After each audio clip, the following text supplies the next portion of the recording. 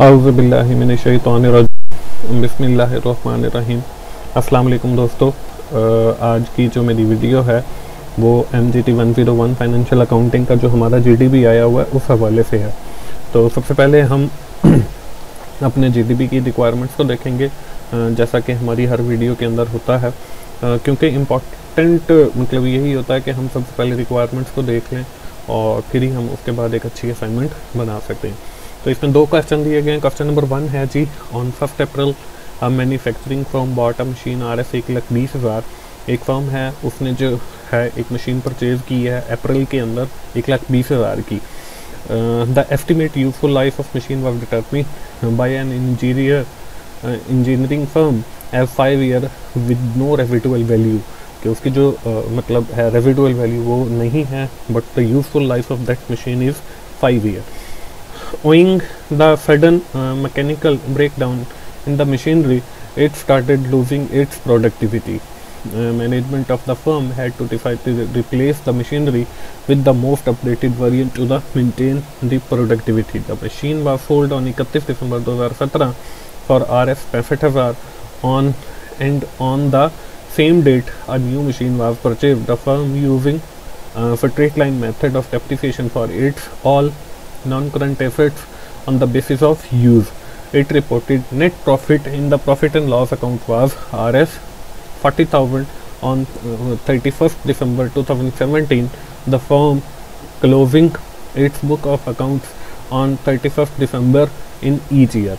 कि फर्म जो है वो एक नई मशीनरी ले आती है ठीक है जी और उसको सोल्ड कर देती है पैंसठ हज़ार में और फर्म का जो 2017 का प्रॉफिट है that is forty thousand rupees और कंपनी जो है हर साल इकतीस दिसंबर को अपनी अकाउंट भी क्लोज करती है। हमने करना क्या है? What will be the amount of depreciation on इकतीस दिसंबर 2016 कि हमारी जो डेप्रीफिएशन है वो इकतीस दिसंबर 2016 को क्या होगी?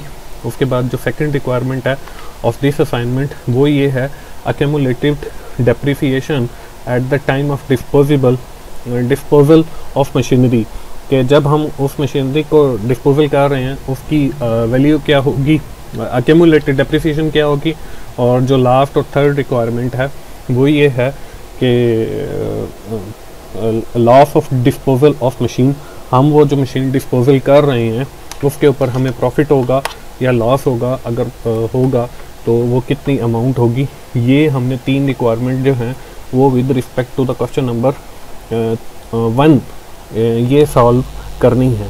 इसके बाद हमें क्वेश्चन नंबर टू दिया गया। क्वेश्चन नंबर टू क्या है जी? What will be the effect of reported profit as at thirty first December two if the firm charge its depreciation method from straight line to return down value using 20% percent rate of depreciation per annum working is not required कि हम अगर अपना जो method है, वो straight line से return down value method करते हैं ट्वेंटी परसेंट हमारा रेट है तो फिर क्या होगा? मतलब उसका effect on profit and loss account just mention either profit will be increase के प्रॉफिट इंक्रीज हुआ है तो वो कितनी अमाउंट से और प्रॉफिट विल डिक्रीज अगर प्रॉफिट डिक्रीज हुआ है तो वो कितनी अमाउंट से होगा?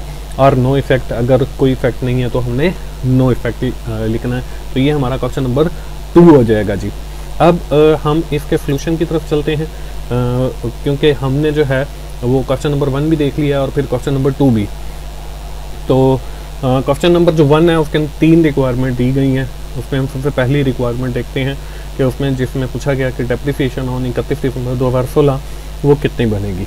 अब annual depreciation under straight line method मैंने जो है, यहाँ पे स्ट्रेट लाइन मेथड को यूज़ करते हुए डेप्रीसिएशन कैलकुलेट किया, वो कैसे कैलकुलेट करेंगे, उसका फॉर्मूला है depreciation is equal to cost minus residual value और उसको हमने डिवाइड करना है होल को expected useful life of the asset अब कॉस्ट जो है वो हमें एक लाख बीस हज़ार दी गई। रेजिडुअल वैल्यू उसमें बताया गया कि ज़ीरो है, कोई नहीं है। और यूजफुल लाइफ जो है बैक मशीन वो है फाइव ईयर हमने फाइव को डिवाइड कर दिया। तो हमारे पास जो चौबीस हज़ार है, वो हमारे पास डेप्रीफिकेशन आंसर आ गया फॉर वन ईयर अब जब हम इसका मशीन अकाउंट बनाएँगे तो वो हमने डेप्रीफिकेशन चार्ज करनी है इकतीस दिसंबर दो हज़ार सोलह तक। अब देखें, हमने जो है वो मशीन ख़रीद की है अप्रैल के अंदर। तो हमारे पास जो है वो हमने 2016 के अंदर ख़रीद की है अप्रैल में। और अप्रैल से लेके अप्रैल, मई, जून, जुलाई, अगस्त, सितंबर, अक्टूबर, नवंबर, दिसंबर तो हमारे पास नाइन मंथ्स बनते हैं कि हमने नाइन मंथ यूज़ किया अब हमने ये जो चौबीस हज़ार डिप्रिसिएशन निकाली है, ये हमारी पूरे साल के लिए है। तो हम क्या करेंगे, इसका मशीन अकाउंट बनाने के लिए देखें, इसमें मैंने एक टेबल बना दिया कॉस्ट है, एक लाख बीस हज़ार डेप्रीसिएशन फॉर ईयर 2016 तो हम चौबीस हज़ार को डिवाइड करेंगे ट्वेल्व के साथ।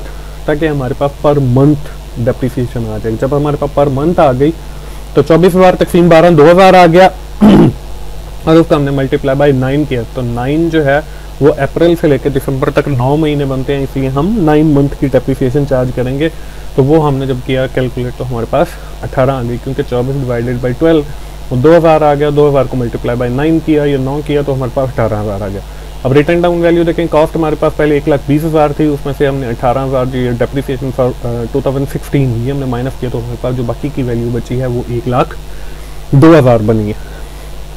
तो ये है हमारे क्वेश्चन नंबर वन की रिक्वायरमेंट नंबर वन अब हम आते हैं क्वेश्चन नंबर वन का, जो रिक्वायरमेंट नंबर टू दी गई है कि अकेमुलेटेड डेप्रिसिएशन एट डिस्पोजल के, वो कितनी बनेगी? अब वो निकालने के लिए हमने क्या किया? वही पीछे वाला टेबल है जी कॉस्ट एक लाख बीस हज़ार। अब इसमें एक और कॉलम ऐड कर दिया, जिसको मैंने अकेमुलेटेड डेप्रिसिएशन का नाम दिया। अब यहाँ पे मैंने डेप्रिसिएशन फॉर ईयर 2016 वही है जी, चौबीस हज़ार डिवाइडेड बाई ट्वेल्व और मल्टीप्लाई बाय नाइन तो हमारे पास अठारह हज़ार आ गया।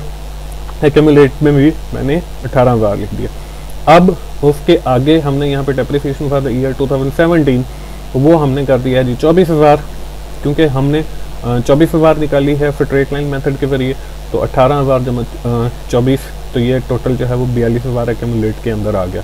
और यहाँ पे एक लाख दो में से हम जब चौबीस को माइनस कर देंगे तो हमारे पास आई थिंक के जो वैल्यू बचेगी वो यहाँ पे आ जाएगी। एनुअल अकेमुलेटेड डेप्रिसिएशन देखें depreciation for first year plus depreciation for second year तो अठारह हज़ार जमा चौबीस हज़ार तो ये मतलब बयालीस हज़ार इसका जवाब आ गया।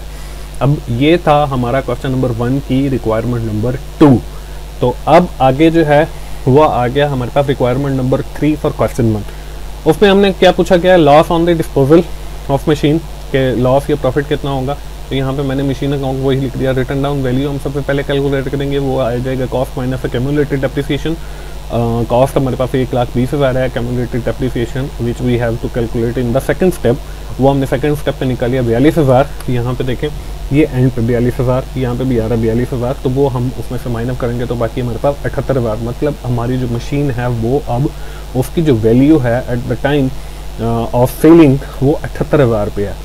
तो आगे हम प्रॉफिट लॉस अकाउंट मैंने मशीन का दिखाया, वो कैसे है sale price minus return down value अब हमारे पास जो सेल प्राइस है वो पैंसठ हज़ार हमें क्वेश्चन के अंदर दी हुई है। रिटर्न डाउन वैल्यू ये जो हमने वैल्यू निकाल दी अठहत्तर हज़ार तो पैंसठ हज़ार और माइनस अठहत्तर हज़ार आ जाएगा।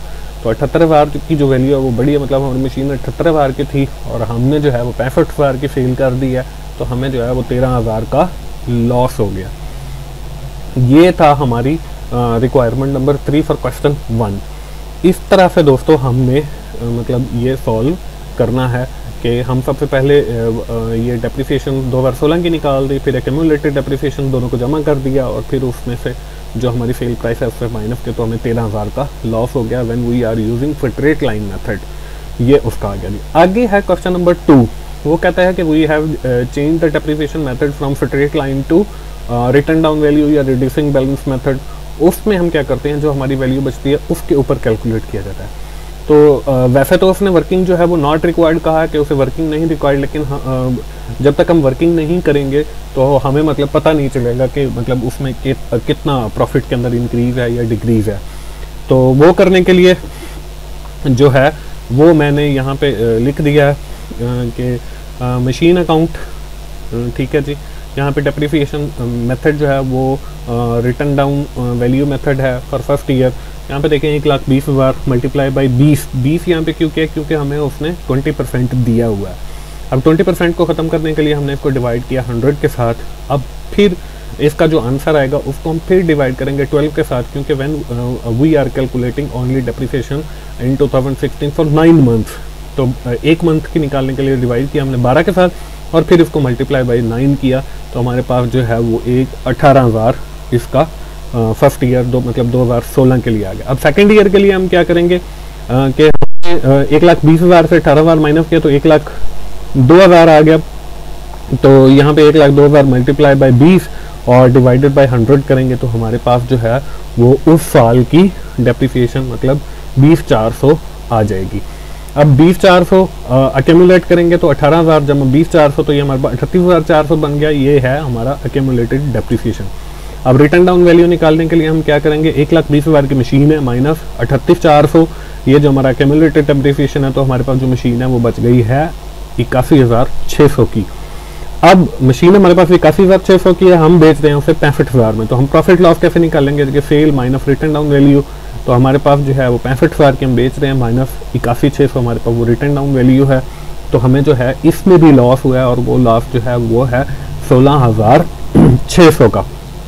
अब अब क्या करना है जी? हमने ये बताना है कि ये जो हमें लॉस हुआ है by using the return down value method इसका इफ़ेक्ट क्या होगा प्रॉफिट एंड लॉस अकाउंट पे? अब यहाँ पे जो है वो हमें उसमें बताया गया है कि the profit and loss account reported 40,000 profit for 2017 के चालीस हज़ार दो हज़ार सत्रह का प्रॉफिट है। अब देखें यहाँ पे भी मैंने लिख दिया profit and loss account reported चालीस हज़ार as profit for the year 2017 it will be decrease by सोलह छः सौ। तो ये जो हमारा चालीस हज़ार है, ये सोलह छः सौ से डिक्रीज हो जाएगा मतलब कम हो जाएगा। Because we have face losses हमने, चाहे हम स्ट्रेट लाइन मेथड यूज़ करें, चाहे हम जो है रिटर्न डाउन वाली मेथड यूज़ करें, हमें लॉस हुआ है तो इसलिए ये हमारा जो प्रॉफिट है वो डिक्रीज हो जाएगा। अब डिक्रीज कितनी अमाउंट से होगा, ये अभी मैं आपको कैलकुलेट करके बता देता हूँ and it's charge to profit loss account as an expense और ये जो लॉस है इसको हम एज अ एक्सपेंस चार्ज करेंगे प्रॉफिट लॉस अकाउंट के अंदर। अब हमें वो कितना लॉस हुआ है, उसको कैलकुलेट करने के लिए हम क्या करेंगे कि चालीस हज़ार और माइनस कर देंगे जी हम सोलह छः सौ तो ये हमारा प्रॉफिट जो है, वो बच जाएगा तेईस हज़ार चार सौ। If we are using return down value method कि अगर हम return down value method use कर रहे हैं, जो हमें क्वेश्चन में बताया गया क्वेश्चन नंबर टू के अंदर तो हमारा जो प्रॉफिट बचेगा वो तेईस हज़ार चार सौ का बचेगा। तो इसका मतलब ये हुआ कि when we are using return down value method the profit will be decrease from forty thousand to twenty three thousand and four hundred के चालीस हज़ार से कम होकर वो तेईस हज़ार चार सौ रह गया।